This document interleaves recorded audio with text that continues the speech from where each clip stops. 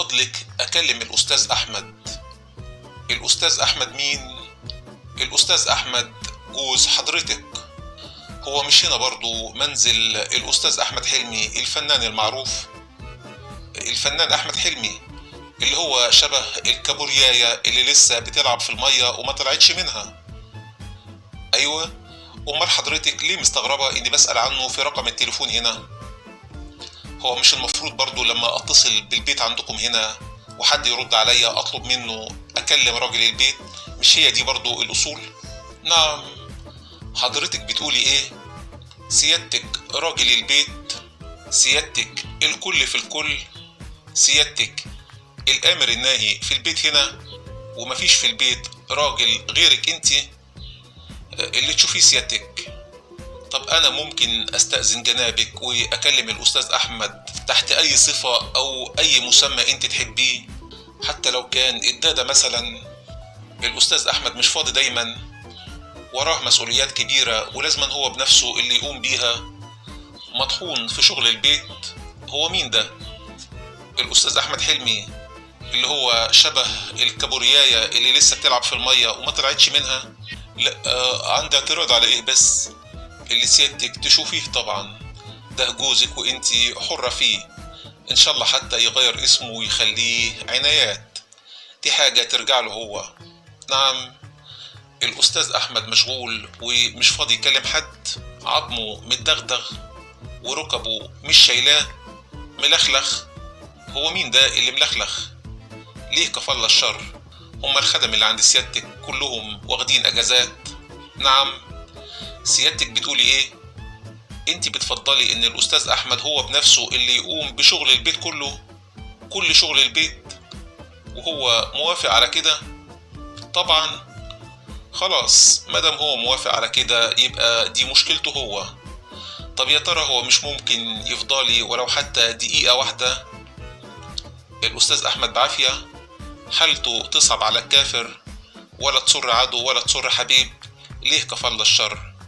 على الله المانع يكون خير.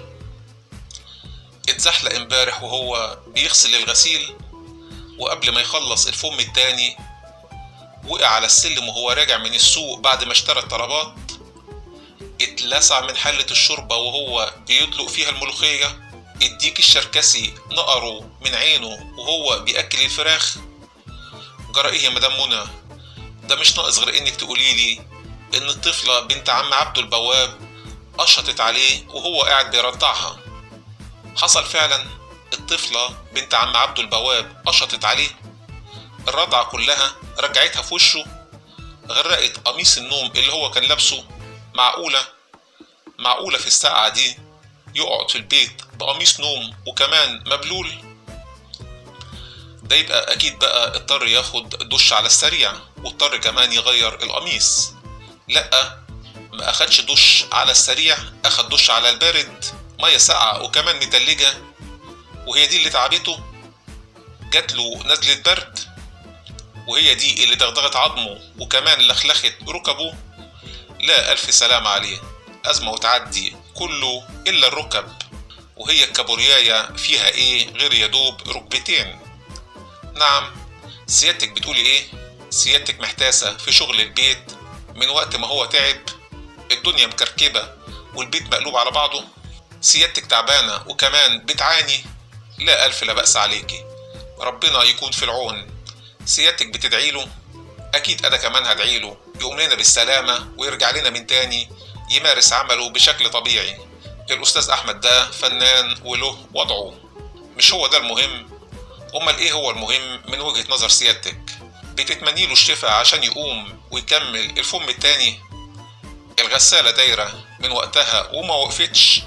وكمان عشان يروح السوق مرة تانية ويجيب لك باقي الطلبات. نسي في المرة الأولى يجيب البتنجان الرومي والفلفل الأخضر. والأهم من كده كمان عشان يعمل طشة التوم بتاعة حلة الملوخية. لا فعلا دي مشكلة كبيرة ولازم نبحث لها عن حل. طب وبالنسبة للبنت يا مدام منى أكيد الطفلة محتاجة رضعة تانية بدل الرضعة اللي هي رجعتها في وشه. الطفلة مش ممكن تقعد أكتر من كده من غير الرضعة. أنا كمان بحكم خبرتي في المجال ده أفضل إنه يرضعها رضاعة طبيعية. الرضاعة الطبيعية أفضل بكتير من اللبن البودرة اللي بياخدوه الأطفال بتوع اليومين دول. أنا كمان أفضل إن سيادتك تهتمي أكتر بنوع الوجبات اللي بياخدها الأستاذ أحمد لأن ده بيفرق بشكل كبير في كثافة اللبن وجودته. تمام كده زي البقر. كل ما بنهتم بيه أكتر يكون له ناتج أكبر. إحنا مش عايزين عم عبده البواب يزعل مننا. أما بقى مسألة قمصان النوم دي فأنا أفضل إن الأستاذ أحمد تحت القميص أو تحت الكومبليزون مثلا يلبس كلسون طويل كلسون صوف أبيض. ولو يعني ما فيهاش قلة ذوق مني أعتقد إن حضرتك ممكن بشيء من التواضع والمحبة تتنازلي له عن ال under الخاص بيكي ال under الكاروه المعفن اللي حضرتك كنت لابساه في فيلمك الأخير وقلعتيه. أفتكر إن الأندر ده يدفي أكتر تحت الكلسون الصوف. ما تأخذنيش في الكلمة يا مدام منى. الناس كلها اطلعت على الأندر بتاعك. ده من وقت عرض الفيلم ماركة الأندر ده أصبحت هي الماركة الأكثر انتشارا في البلد. ده بقى ولا البلوفر بتاع عمرو دياب في أغنية تملي معاك. ده أنا حتى سمعت إن الشركة المنتجة للأندر بتفكر تعلق بادجات على الأندرات ويكتبوا عليها أندر منى على كل حال ربنا يطمنا عليه وأنا كلها يومين أو ثلاثة كده وأبقى أرجع وأتصل بيه مرة تانية. أنا مين؟ آه لا مؤاخذة. نسيت أقول لحضرتك. أنا أوراني بسيوني أوراني بسيوني من مكتب الأستاذ عباس فرخة. المنتج المعروف. الأستاذ فرخة كان طلب مني أتصل بالأستاذ أحمد وأبلغه بموعد التصوير الجديد اللي إحنا اتفقنا عليه.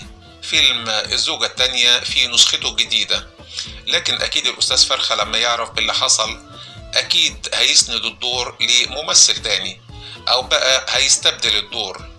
نعم الأستاذ أحمد كان مرشح لدور إيه؟